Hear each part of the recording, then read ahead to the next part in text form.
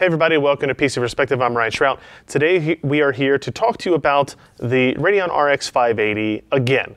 Now, when AMD launched this video card, they talked to us a lot about, you know, that it wasn't an upgrade to the 400 series, and they were very adamant about that, and so it wasn't labeled a rebrand by us or most other people.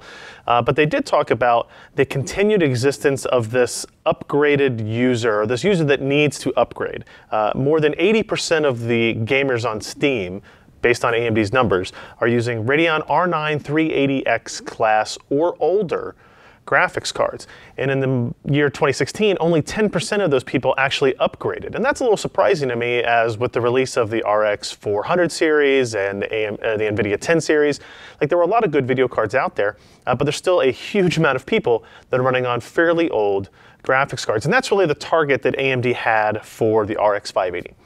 Now, um, they, they had some claims throughout their presentation about uh, how much of this performance was able to increase. When you say you went from an R9 380 to an RX 580, um, you know, you could jump from 43 to over 60 frames per second in Battlefield 1. You go from 41 in For Honor to well over 60 frames per second in that game as well uh, at 2560 by 1440. So Prey just came out this week. We decided we'd run it through the gamut of tests and kind of see if AMD's uh, stance made sense, right? So we compared our Radeon RX 580 that we have here against a Radeon R9 380 that we had to dig up and dust off for this test. And then we also compared it to the GeForce GTX 960.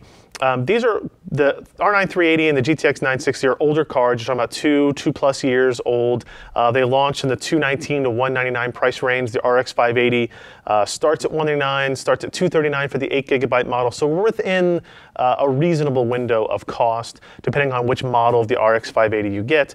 Uh, but we just basically did a, a pretty straightforward test. We took the new Prey game, which is pretty great. If you're a fan of like System Shock, you're really going to like uh, Prey. And um, this gave me an excuse to play through a lot of it, trying to find a benchmark location for, for science, if you will. Uh, and we just basically did testing at 2560 by 1440 at the very high image quality preset. And the results are very straightforward. Uh, we ran it through our frame rating test methodology.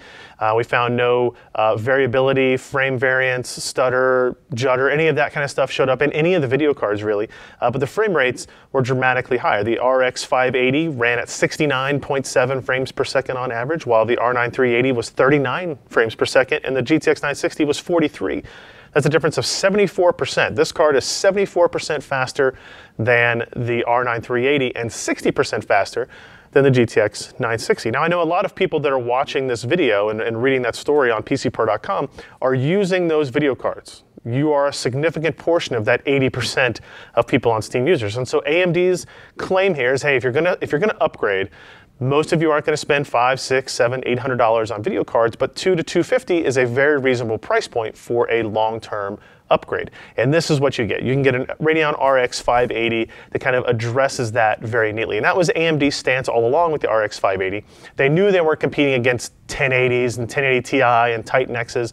They were competing for that mainstream dollar and wanted to prove that it could do 2560 by 1440 gaming above 60 frames per second and made a fantastic upgrade option. And that's pretty much all this video is about, right? Uh, AMD told us that, hey, we think you'll find these results. Uh, please go look at it, and we did.